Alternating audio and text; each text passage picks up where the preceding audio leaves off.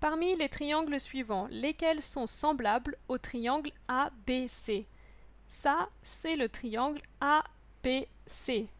Et avant d'étudier ces triangles-là, je vais juste te rappeler qu'est-ce que ça veut dire quand des triangles sont semblables. Deux triangles sont semblables si tous les angles de l'un sont égaux aux angles de l'autre. Par exemple, si on a deux triangles comme ça, et que cet angle est de même mesure que cet angle, cet angle est égal à cet angle, et enfin ces deux derniers angles sont égaux aussi, alors ces deux triangles sont semblables. Mais la propriété des triangles semblables qui nous intéresse le plus ici, c'est que ces triangles ont des côtés correspondants proportionnels. Et donc si ce côté mesure 2 et celui-là 1, le ratio de ce côté sur ce côté c'est 2 sur 1, alors le ratio des deux côtés correspondants de ce triangle, à savoir ces deux côtés-là, doit aussi être 2 sur 1. Par exemple, ce côté peut être 4 et celui-là 2. 4 sur 2, c'est bien égal à 2 sur 1, mais ça peut aussi être, je sais pas moi, 10 sur 5, c'est bien un ratio de 2 sur 1, ou encore, ça peut être 7 sur 3,5, c'est aussi un ratio de 2 sur 1.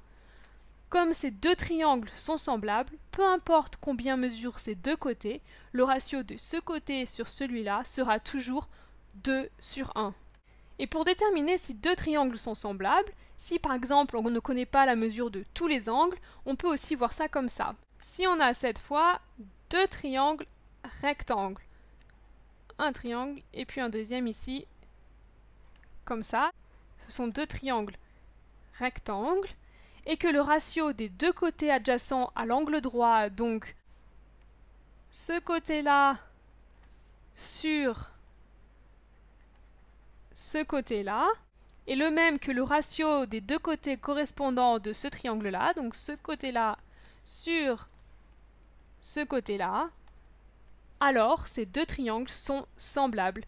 Si ces deux triangles sont rectangles et que ce côté-là, ici, c'est 6, et puis ce côté-là, c'est 9, et ce côté-là, eh bien, c'est 2, et puis ce côté-là, c'est 3. Alors, ces deux triangles sont semblables. 6 sur 2, ça fait 3 sur 1, et 9 sur 3, eh bien, c'est aussi 3 sur 1. Donc, le ratio de ce côté sur ce côté est le même que le ratio de ce côté sur ce côté. Donc, ces triangles sont semblables. Ces deux triangles sont Semblable.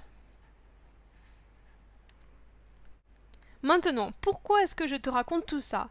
Eh bien parce que quand on a deux points sur une droite comme ici C et A, et qu'on se déplace d'un point à l'autre, disons ici de C à A, eh bien la variation de Y sur la variation de X va toujours être la même, peu importe quel point de la droite on choisit. Et si on construit un triangle comme celui-ci, comme le triangle ABC, avec ici la variation de x et ici la variation de y, eh bien on obtient un triangle rectangle, puisque ce côté-là, c'est la variation de x, donc c'est un déplacement horizontal par rapport à l'axe des x. Donc ce côté est parfaitement horizontal. Ce côté-là, c'est la variation de y, c'est un déplacement vertical par rapport à l'axe des ordonnées, et donc ce côté est parfaitement vertical. Donc on a bien ici un triangle rectangle. Et si on construit un triangle comme ça, entre n'importe quel couple de points de la droite, on obtiendra un triangle rectangle, et tous ces triangles vont être semblables, puisque la variation de y sur la variation de x va toujours être constante. Ici, la variation de y, c'est ce côté-là, à ce point y égale 3, à ce point y égale 9, donc la variation de y, c'est 9 moins 3, c'est 6. Et la variation de x, c'est ce côté-là, la variation de x, c'est le x de ce point 3 moins le x de ce point 1. Donc 3 moins 1, ça fait 2. Donc ce ratio, la variation de y sur la variation de x, c'est 6 sur 2. Ce ratio va être constant sur toute la droite et donc tous les triangles construits de cette façon entre deux points de la droite vont être semblables. Maintenant, on est prêt pour comparer tous ces triangles. D'abord le triangle AGD. Eh bien, comme dans le triangle ABC, l'hypoténuse AD c'est un segment de la droite. Et D et G, ce côté-là, la base du triangle, eh bien qu'est-ce que c'est? C'est la variation de x entre le x du point D ici et le x du point G. Et la hauteur du triangle, ce côté-là, le côté GA ici, qu'est-ce que c'est?